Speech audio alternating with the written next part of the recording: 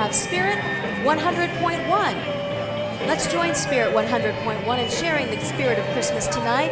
The songs you hear are those Christmas classics that your family enjoys this time of year, and if you're my family, all year round. Their trailer covered with banners that invite all of us to share the spirit of Christmas with others.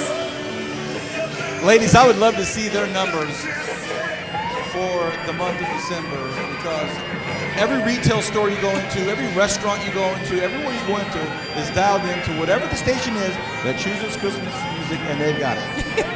I did hear you whistling some music tunes on the way in. I love it. Yeah.